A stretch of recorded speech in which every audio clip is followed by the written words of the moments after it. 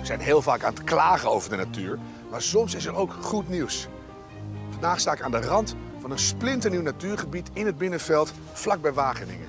Hier werd eind vorig jaar 200 hectare boerenland omgetoverd in nieuwe natuur.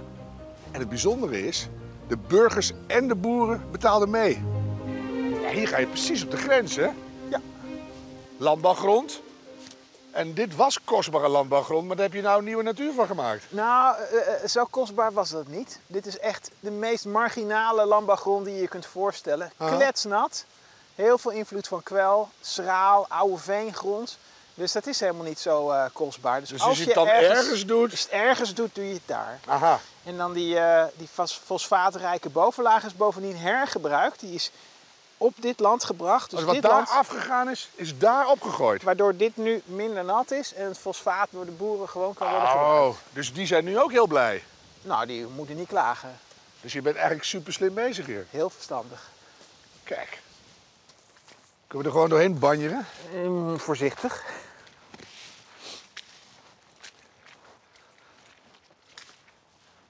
Je bent ondertussen echt aan het rondspeuren of je al nieuwe dingen ziet, hè? Ja, we verwachten hier bepaalde planten. En eh, die moeten voor een deel vanzelf komen uit de zaadbank. Ik ben wel heel benieuwd eh, wat er Wat op er komt. dan- Ja, lukt het, hè? Want Ja. het is altijd wel een beetje... Kijk, dit soort planten, dat krijg je, die krijg je vanzelf. Dat is... Even hier, Patrick, want we staan nu in een enorm nieuw stuk natuur. Ja. Kan ja. je een beetje aanwijzen in de verte van waar tot waar en hoe?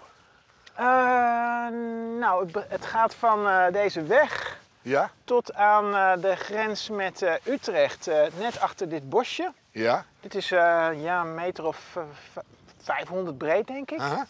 En dan gaat het tot achter die bult daar, die je ziet, die Ja, groene dat bult. bultje, ja. Een paar honderd meter. En dan nog een kilometer of twee die kant op voorbij, die bomen. Ja. Nog een heel eind. Oh, dat is een echt een stuk is flink oud. stuk.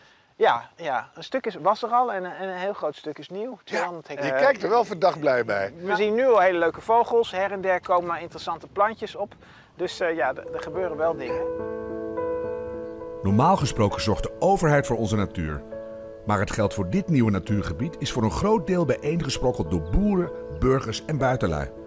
Zo haalde de stichting Mooi Binnenveld 4 ton op bij honderden bewoners rond het gebied. De boeren legden daar nog eens 6 ton bij.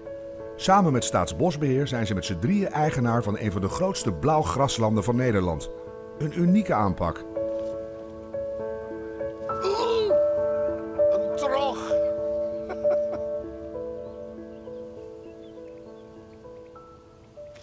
Oh, hier. Voel je, hier is het echt al heel anders. Hier is veel Oh zachter. ja, kijk. Dit is een beetje... En als het goed is, is dit dus wel meer venig. Dus wat je hier ziet zijn plantenresten van misschien wel 8000 jaar oud. Hoezo? Je hebt hier een, een toplaag afgehaald van het oude boerengrond. Dus een stukje.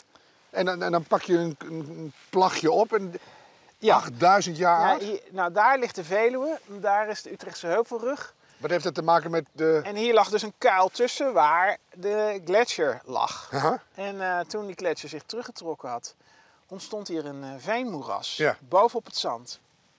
En dat Maar- veenmoeras is afgegraven tot een bepaald niveau. En daarop is boerenland gekomen. Maar dit, dit, ziet eruit als eergisteren. ja, dit zijn plantenresten die eh, misschien wel eh, 8000 jaar oud zijn. Want zo oud, weten we, is dat veen. Wel bijzonder. Ik vind Ja. het ineens nog mooier. Ja, ik vind dat ook heel... Zo eh, het ja. zorgvuldig terugleggen, dan kan het nog 8000 jaar mee. Nou, kijk, eh, dat is ook niet zo erg als er een beetje... We zuinig zijn dat wat we nog hebben. Zo, oh, je zakt weg. Ja, dit is dus nou, het is een van, heel hè? goed teken dat je wegzakt. Lopen dan. Eh, maar We moeten met een hoge snelheid er doorheen.